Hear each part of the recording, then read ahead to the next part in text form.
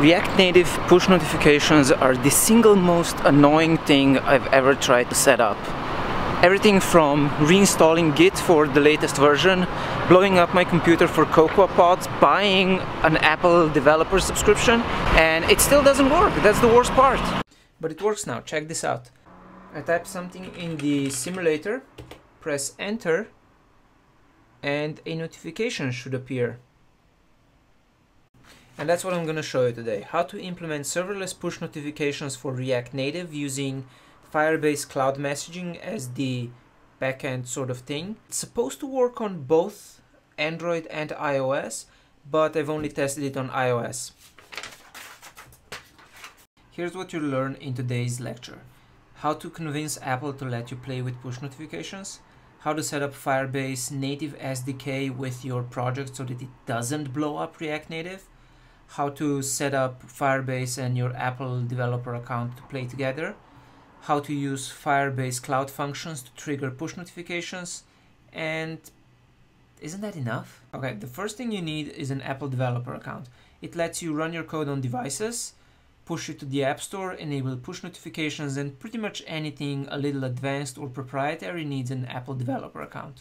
The easiest way to get one of those is through Xcode you start by opening your project and we're to need this a lot today.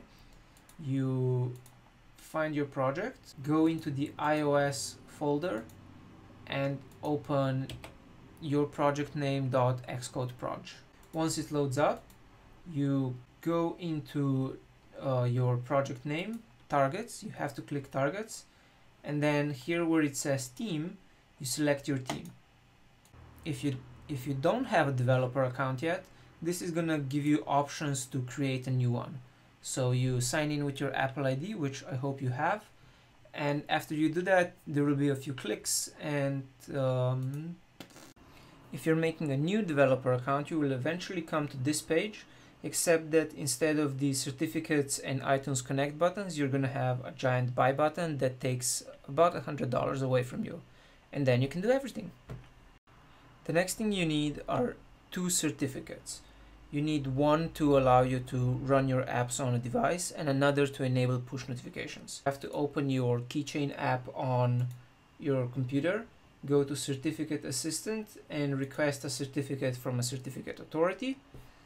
Uh, click save to disk. Just use the default name, that's fine. And on the generate certificate you then choose that file and you can download your certificate. It's important that you remember where you save that. With the saved certificate file you should first double click it to install it locally in your keychain. Then you should go to firebase.com and add your app to your Firebase account. To add the app you click add another app click iOS then make sure that the bundle identifier in your Xcode and on your uh, Apple developer account is the same as the one you're entering into Firebase. Click register app and we're gonna deal with the config stuff later. Now to add your certificate to Firebase you have to first export it to a P12 uh, say to your desktop and you, you're gonna need a password. Once you have that you save it go to Firebase click settings on your app click on cloud messaging and then upload the certificate and choose your P12 file.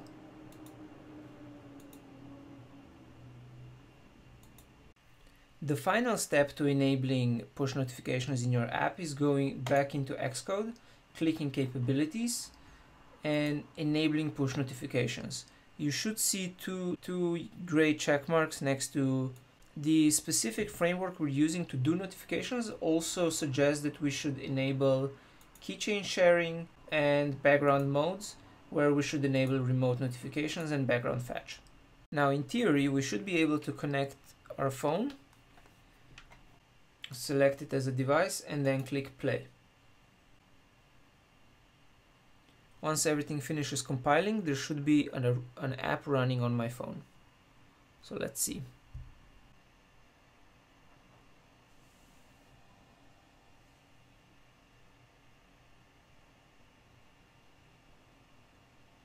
And there you go, an app running on a phone. That took a really long time. And now comes the fun part. Adding Firebase native SDK to your Xcode project without Cocoa Pods. Because no matter what any README out there tells you, Cocoa Pods and React Native don't actually like each other and your app will explode. And yes, you need the native SDK as well as the web SDK. The native SDK gets the push notification. The web SDK is what you use to then talk to Firebase from your JavaScript code. Start by downloading the SDK from Firebase's documentation. Then you open the, the folder it gives you and you're gonna need two frameworks. The Firebase Analytics Framework and the Firebase Messaging Framework. The way you install them is by drag and dropping them into your Xcode project. Every time you do that, you do you click copy items if needed and finish.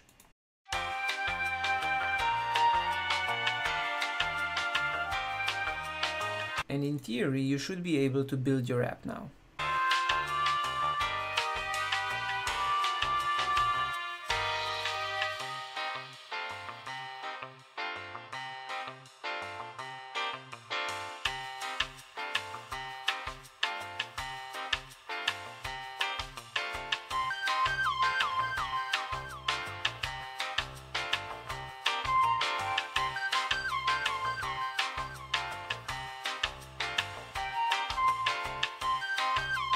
And there you go. The app runs on a device. So those last seven minutes where I was just clicking on buttons and following instructions, that took me seven days to figure out. Maybe I'm just dumb, but hopefully that can help you and you can not waste that much time on something as silly as, oh yeah, I almost forgot. You need to add the Google Firebase plist file to your project because that is the configuration. You get it from uh, your Firebase thing. Click Google Service Info plist and drag it to your project next to Info plist. And when that's done, you have to import your uh, Firebase stuff in the actual app. You do that in app delegate H.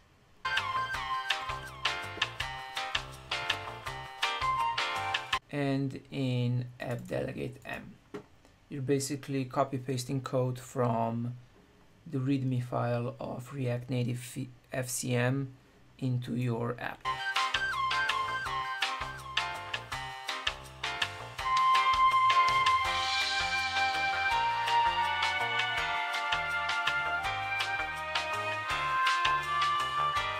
Well, it looks like I did something wrong because I'm getting a file not found error. Not sure exactly what I did wrong, but in general, if you follow those steps, you should be fine. And that's why this is like the hardest thing I've ever done in any sort of configuration for any coding I've ever done. Like this is harder than Webpack. Seriously. Right. Configuration is fun and all, but let me show you how this actually works once you put it into JavaScript and start using it.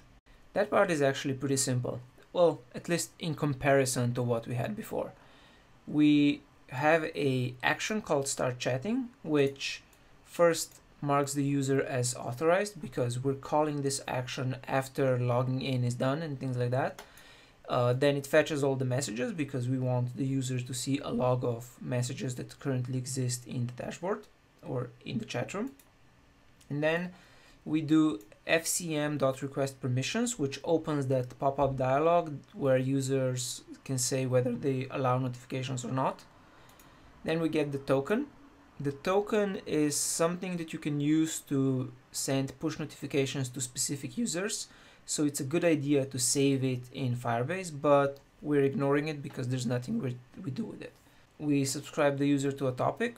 This is a good way to send, basically it gives you channels. You can think of it as a channel. So right now we only have one chat room, so one channel. And then in fcm.on we have the notification handling function.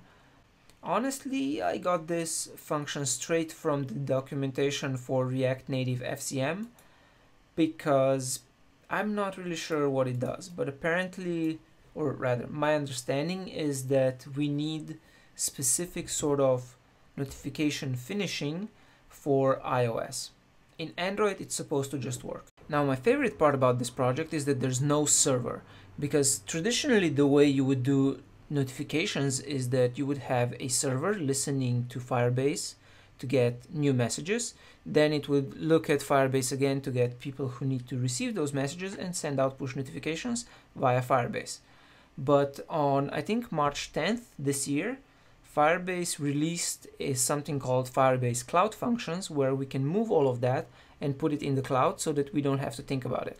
The way that works is that we use JavaScript to define a function, in our case send new message notification, which listens to write events on our messages list, then gets the value of the last message, which it's going to use to build the notification, uh, builds a basically builds a notification payload and sends it to our secret chat room topic. And the result is that we have notifications firing on our phone.